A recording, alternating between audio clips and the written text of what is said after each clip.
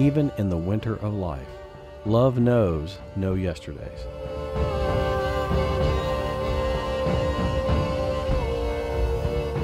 Years ago in Winchester Cathedral, when I saw the mortuary chests that hold the bones of Canute and Emma, I thought there had to be a reason why they rested together. Was this a tangible sign that they shared a love that would last through time? Or was their union one of just royal political strategy? Perhaps both. Of course, the romantic in me leant toward the romantic. So, did Canute and Emma meet some time before the Viking conquest of England? Some say possible, and so say I. Here's how Emma of Normandy might have remembered a fateful meeting that would change both their lives forever. It's the year 1012, ten years after I came to England.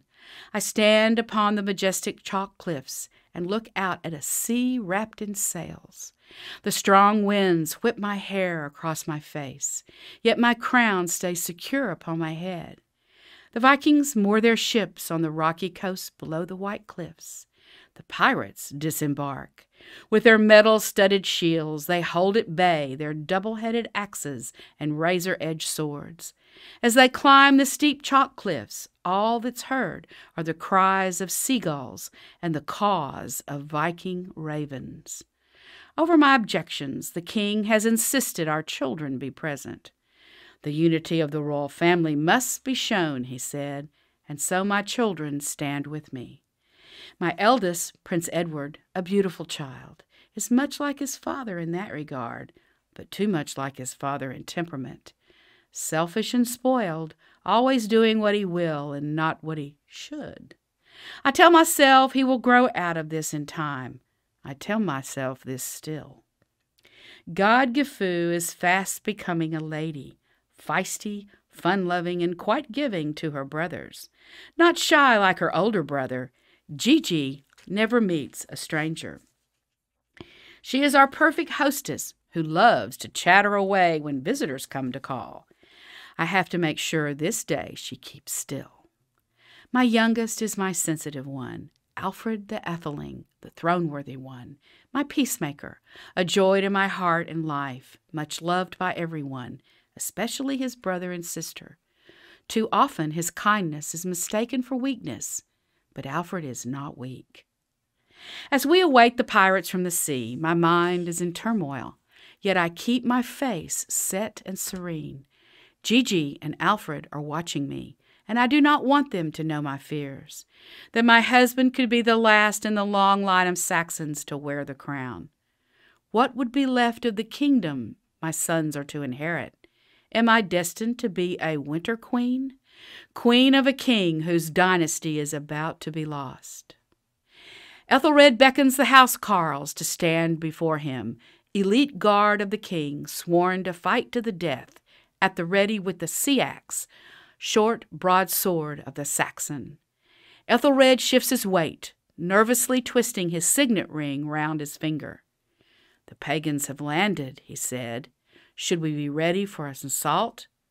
I think not, sire, the captain of the guard replies. The Vikings make a short march toward us. They gaze first at us, then at the table of truce, heavy with sacks of silver. Three years of royal revenue, the national income. I hold my breath as I take them in, especially the huge Viking with the large black raven perched on his shoulder, Thorkel the Tall. Thorkel, it is said, is in a word berserk. Is he seven feet tall? How proudly he wears his hairy bear shirt, his berserk. His long beard trails down his chest, mingling with the thick bear fur. His massive boar's head helmet with nose guard and faceplate masks his features, but not his eyes, his fearsome eyes. At this moment, I am not proud of my Viking blood. I am frightened. And then I see him, a young warrior, the last to approach. I realize he was the one I've heard tales of Canute, son of Sweyn Forkbeard, king of Denmark.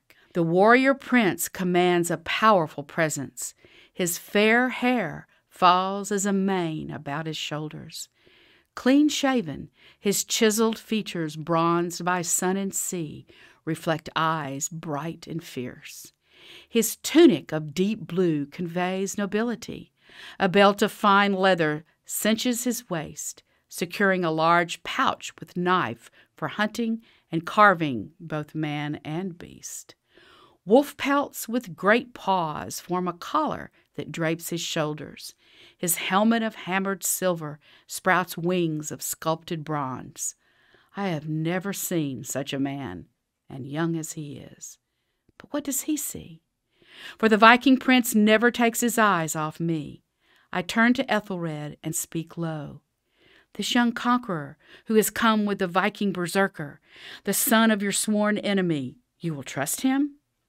Ethelred stirs at my side, his anger palpable. He is humiliated to pay the pirates what rightly belongs to his subjects. And what will he receive? An empty promise from the invaders they will cease their warring, invaders he never wanted to fight.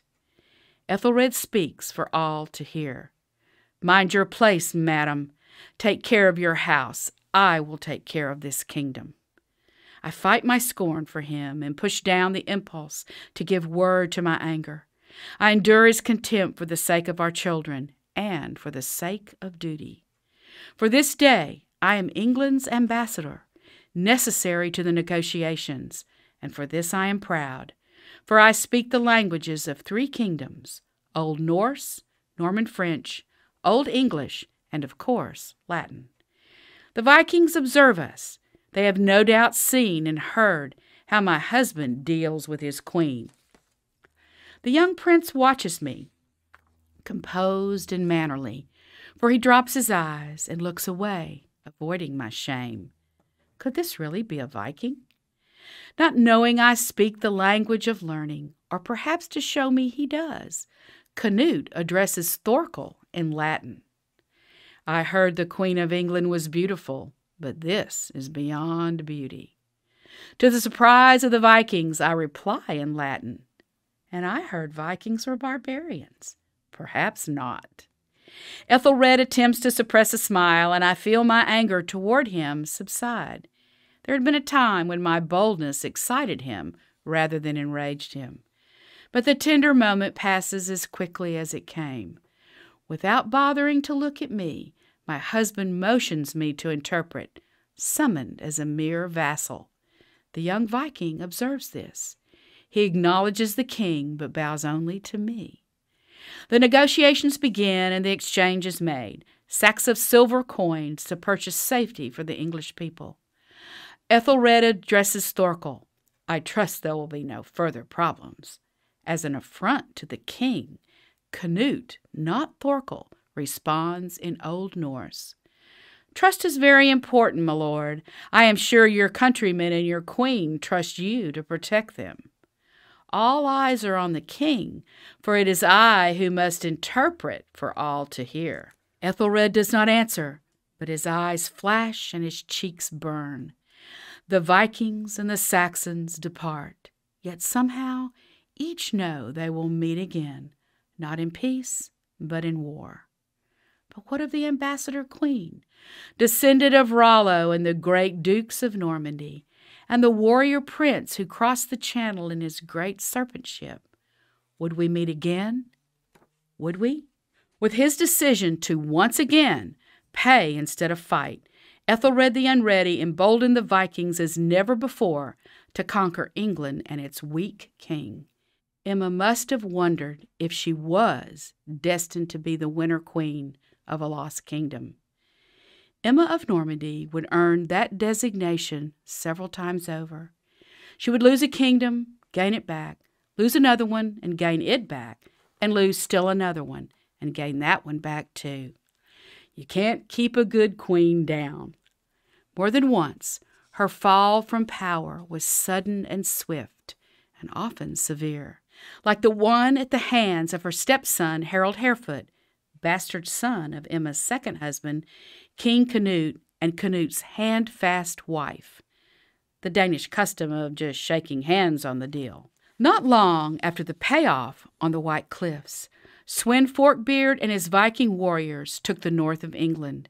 The king of the Vikings called a council meeting of Danes and Swedes to announce his plan to take the land of the Anglo Saxons and declare himself King of England. Word swiftly reached Winchester. Everyone was on tenterhooks, waiting for a slow and painful end.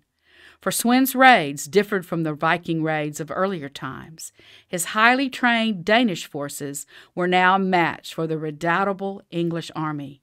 Should the Danes prevail in their conquest of England, their prize would be power and wealth and lands unknown to the Vikings in all their history. The commanders of this undaunted Viking host were two seasoned warriors and master military strategists, Thorkel the Tall and King Sweyn himself. To complete the triad of strength was Sweyn's capable son and heir, Canute the young warrior prince who first saw Queen Emma atop the White Cliffs. Sweyn's armies, led by Thorkel and Canute, pillaged and plundered the English coasts and shires. Fields laid waste, towns and villages burnt, entire male populations put to the sword or to slavery. Brother sold brother, father sold son, son sold mother. The fury of the Northmen deadened every loyalty, every energy the Chronicle tells us, not since the days of the fall of Rome had such misery been seen. Even Canterbury, center of English Christianity, was not spared. That's when the despair of King Ethelred reached its zenith, when word came the great city had fallen to the Danes and left Elphege, Archbishop of Canterbury, to the tender mercies of Thorkel the Tall and his berserkers. Held for ransom, Archbishop Elphege ordered the people to pay nothing. In an ugly mood, Thorkel the Tall and his marauders put those of the religious orders to the sword or to the flames, throwing others over the city walls. When no ransom was paid for their illustrious captive, the enraged Vikings bludgeoned to the floor the archbishop with the backs of their battle axes and the meat bones of their oxen. With a final blow from an axe, the skull of Elphege was cloven in two. Then the Vikings sacked the cathedral, Canterbury Cathedral, and burned it to ashes. If ever there was a time to fight, this was it. So, did the King of England stay and fight? Of course not. Ethelred went into hiding. Then he fled to the ancient Isle of Wight off the Channel coast taking his young family with him.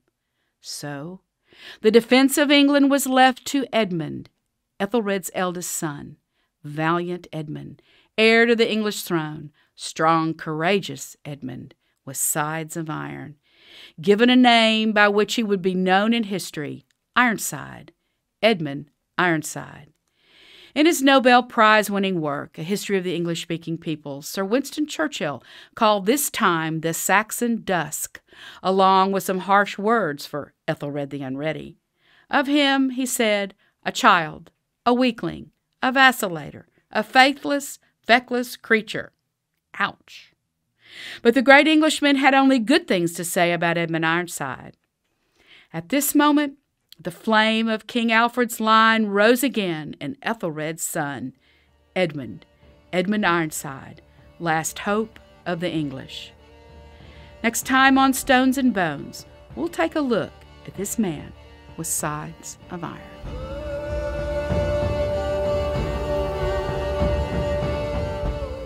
Next time on Stones and Bones, we'll meet a figure who didn't last long on Emma's chessboard but one who left a lasting place in the line of British kings.